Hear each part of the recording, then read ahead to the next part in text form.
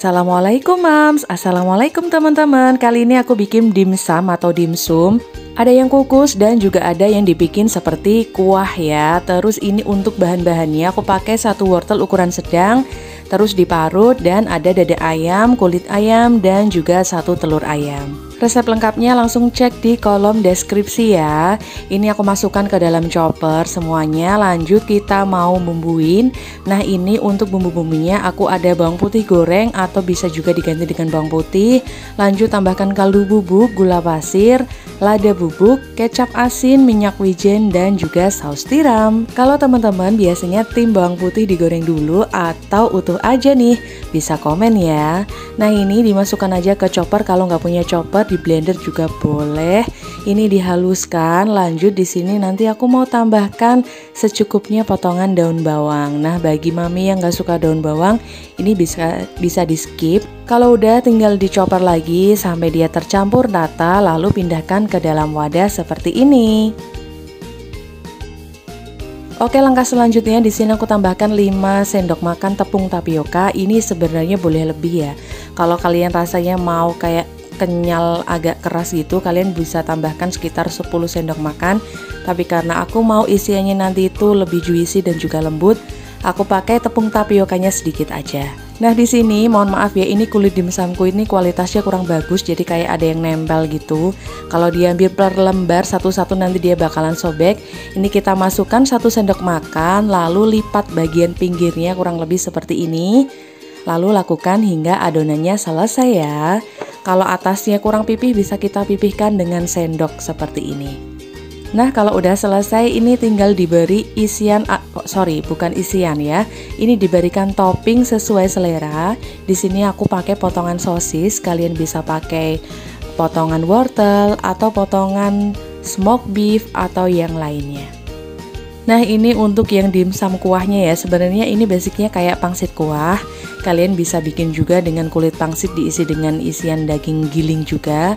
Di sini aku pakai 400 ml air, secukupnya daun bawang, kaldu bubuk, garam, gula pasir, lada bubuk, dan kalau mau lebih wangi bisa ditambahkan sedikit aja minyak wijen.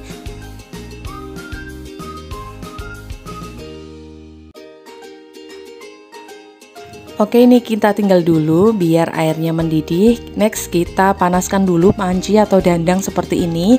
Ini aku udah panaskan sekitar 5 menitan Lalu tata semua dimsum Tapi untuk tipsnya di sini agar nanti kulit dimsumnya tidak menempel di bagian alas panci Kita olesi dulu alas pancinya dengan secukupnya minyak goreng ya atau minyak sayur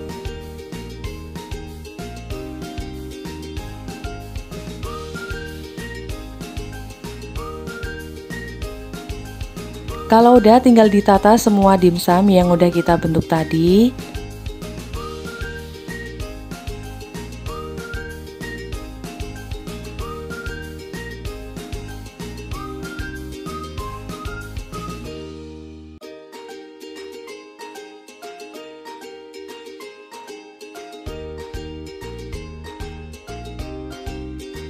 Kalau udah ditata semuanya, ini kita kukus pakai api sedang selama kurang lebih 20 menit ya.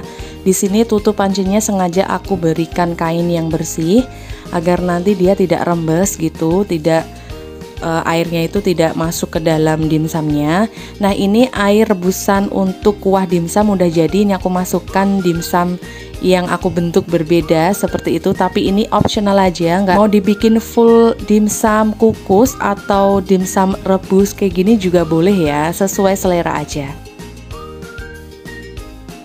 Teman-teman ini dia hasilnya. Ini bisa ditambahkan biar lebih enak gitu pakai cabe ya biar makin pedes mantep gitu. Nah ini dimsumnya udah 20 menit. Ini mau aku pindahkan ke wadah ya ini kurang lebih hasilnya banyak banget. Aku nggak ngitung aku lupa. Nah seperti ini. Cantik ya.